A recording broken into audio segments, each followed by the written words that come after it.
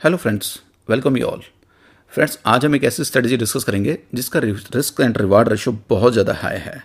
इतना हाई है कि आप कुछ हज़ार रुपये लगा के इसमें कई लाख रुपए बना सकते हैं। तो friends basically option buying strategy है।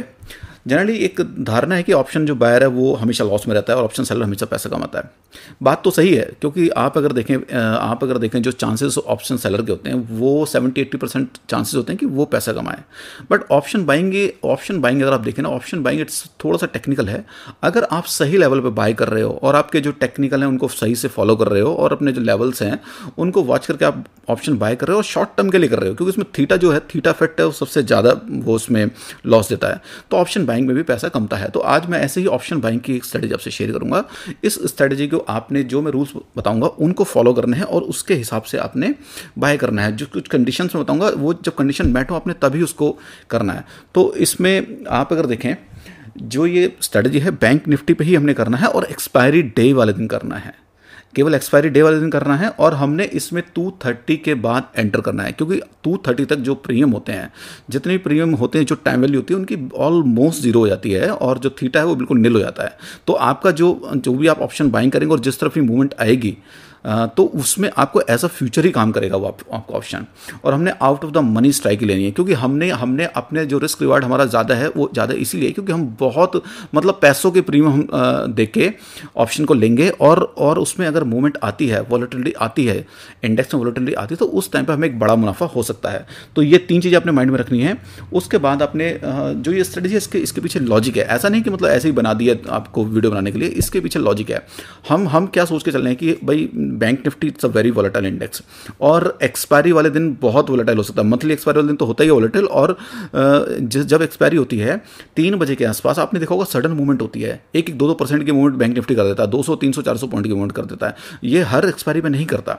ये आपको जो मूवमेंट्स मिलेंगी, महीने में एक बार, दो महीने में एक बार, पर मिलती ज़रूर है ऐसी मूवमेंट्स आपने वो मूवमेंट्स कैप्चर करनी है। आप अगर वो मूवमेंट्स कैप्चर कर लेते हो और थोड़ा सा आप रिस्क ले लेते हो तो उसमें आपको, आपकी कैपिटल दस, बीस, तीस नहीं, सौ गुना से ज़्यादा हो सकती है। एक दिन में। तो रिस्क रेट बहुत ज़्यादा हाई है। तो इसलिए थोड़ा सा ध्यान से हमने करना है फ्रेंड्स इसको मैं फिर आपको अभी एक्सेल शीट पे करके बताता हूँ कि इसमें हम कैसे इसको कर सकते हैं। हम ये सपोज़ करते हैं बैंक निफ्टी का जो लेवल है, अभी थर्टी फाइव थाउज़ेंड है। और थर्टी फाइव थाउज़ेंड अगर बैंक निफ्टी का लेवल है तो हमने आउट ऑफ़ द मनी जो ऑप्शन है, वो चूज़ करने हैं। तो ढाई और ढाई और तीन बजे के बीच में जो ऑप्शंस की वैल्यू जो थीटा है, वो तो बिल्कुल नहीं हो जाता है। तो हम अगर मिनिमम 200 पॉइंट का भी अगर हम लेंगे तो उसकी वैल्यू ऑलमोस्ट एक रुपये या पचास पैसे के आसपास को मिल जाएगी। तो हम सपोज़ करते हैं कि आपको फिफ्टी पैसे में ये ऑप्शन मिल रहा है आपको, पैंतीस हज़ार दो सौ का। ठीक है फ्रेंड्स तो हमने जो इन्वेस्ट किया है, हम इन्वेस्ट ये एज्यूम करते हैं हम दस हज़ार रुपये इन्वेस्ट कर रहे हैं। टेन थाउज़ेंड हमने इन्वेस्ट किया है और हमारा जो बैंक लिफ्ट का साइज़ है वो ट्वेंटी फाइव का है। तो हम टेन थाउज़ेंड रुपीज़ इन्वेस्ट करके और हमारा ऑप्शन का प्रीमियम अगर जो पैंतीस दो सौ का स्ट्राइक है, इसका अगर हमारा फिफ्टी पैसे है तो हम कितने लॉट परचेस कर सकते हैं? हम एट हंड्रेड लॉट इसमें परचेस कर सकते हैं। यानी कि हमें आठ सौ लॉट मिल जाएँगे बैंक निफ्टी के दस हज़ार रुपये लगा के।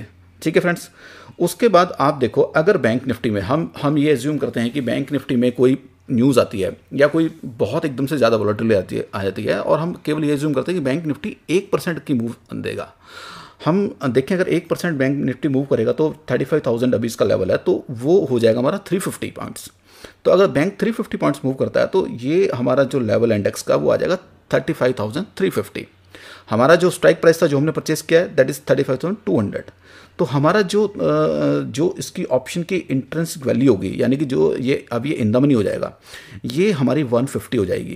क्योंकि हमारा पैंतीस दो का स्ट्राइक प्राइस था और बैंक निफ्टी का लेवल भी पैंतीस तीन है। तो हमारा जो 150 है 150 इसकी मिनिमम वैल्यू हो जाएगी उस टाइम पे। तो हमने, आप देखो फ्रेंड्स दस हज़ार रुपये लगा के हमने आठ सौ लॉट परचेस किए यहाँ पे। आठ सौ लॉट परचेस किए और हम जैसा हमने एक्सपेक्ट किया, ये आपका ये नहीं कि महीने में होगा, ये कभी भी हो सकता है। क्योंकि बैंक निफ्टी इतना वॉलेटाइल है, अभी कल की ही कल का ही मैं मार्केट वॉच कर रहा था। शाम को ढाई बजे के बाद बैंक निफ्टी ने, बैंक निफ्टी ने कम से कम डेढ़ परसेंट का मूव दे दिया था। तो बैंक निफ्टी का, क्योंकि इतना वॉलेटाइल इंडेक्स है, क्योंकि इसमें कुछ ही आठ दस ही शेयर हैं जो, जिनसे मैनेज होता है तो ये जो जो बड़े बड़े प्लेयर्स हैं, इसको मैनेज करते हैं और ये इसमें बड़ी मूवमेंट आराम से आ जाती है। इसलिए हम इस पर बैट कर रहे हैं। तो आप देखें वन एट हंड्रेड लॉट हमारे पास हैं। हमारा ऑप्शन जो है, वो उसकी वैल्यू वन फिफ्टी हो गई है। तो एट हंड्रेड को हम वन फिफ्टी से मल्टीप्लाई करें और हमारा एक जो लॉट साइज़ ट्वेंटी फाइव का तो अमाउंट जो आ रही है वो हमारी थर्टी लाख आ रही है। तो आप देखो फ्रेंड्स टेन थाउज़ेंड रुपीज़ लगा के हमने इन्वेस्ट कितने के टेन थाउज़ेंड हमें अगर अगर ऐसा हमारा दो महीने, तीन महीने में एक बार भी होता है तो फ्रेंड्स थर्टी लैक्स की यहाँ पे कैपिटल बनती है हमारी। मतलब आप इमेजिन नहीं कर सकते ऑप्शन बाइंग में ऑप्शन बाइंग में टाइमिंग ही सब कुछ है। जब भी लूज बॉल मिले, उस पर आपने छक्का मारना है। ऐसा भी हो सकता है फ्रेंड्स कि जो टेन थाउज़ेंड की जो कैपिटल है, ये भी कुछ लोगों को ज़्यादा लगे कि भाई ये एक रिस्क लेने के लिए बैट लेने के लिए काफ़ी ज़्यादा। तो कोई नहीं, आप इसको आप इसको फाइव थाउज़ेंड कर सकते हैं। अगर मैं इसको फाइव थाउज़ेंड करूँगा तो जो हमारा प्रॉफिट का लेवल वो आधा हो जाएगा, वो हमारा फिफ्टीन लाख के आसपास आएगा। अगर आप, आपको अगर फाइव थाउज़ेंड भी ज़्यादा लग रहा है तो हम इसको अगर वन थाउज़ेंड कर देते हैं वन थाउज़ेंड में भी हमारा तीन लाख का प्रॉफिट आ रहा है। आप इमेजिन कीजिए, आपने केवल वन थाउज़ेंड रुपीज़ लगाए। आप एक साल में हमारे अड़तालीस एक्सपायरी होती हैं। अड़तालीस में से आपको अगर दो तीन एक्सपायरी भी मिल गई ऐसी तो आठ दस लाख रुपए आपके बनते हैं और जाते कितने आपके? फोर्टी एट थाउज़ेंड रुपीज़ आपके जाते हैं।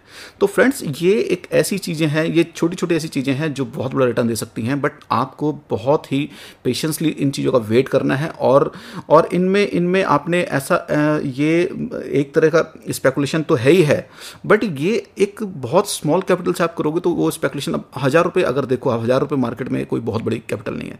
आपको हज़ार रुपये लगा के अगर इतना बड़ा रिटर्न मिलने की अगर आपको संभावना है, और this is very much practical मैं आपको चार्ट पे दिखाता हूँ। एक सेकेंड ये फ्रेंड्स बैंक निफ्टी का चार्ट है।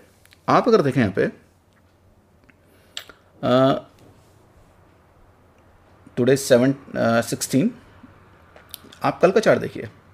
कल हमारा bank Nifty after two thirty ये देखो टू थर्टी पर लेवल था इसका thirty four eight seventy four two thirty के बाद इसने जो मूवमेंट दी है क्लोजिंग के टाइम पे इस, ये था thirty five three seventy almost आप अगर देखेंगे फ्रेंड्स यहाँ पे ऑलमोस्ट फाइव हंड्रेड पॉइंट की मूवमेंट है। मतलब ढाई बजे से लेके साढ़े तीन से पहले पहले 500 पॉइंट की मूवमेंट है। 500 पॉइंट का मूवमेंट मतलब ये हो गया कि ये ये जो मूवमेंट है, ये हमारी डेढ़ परसेंट के आसपास है।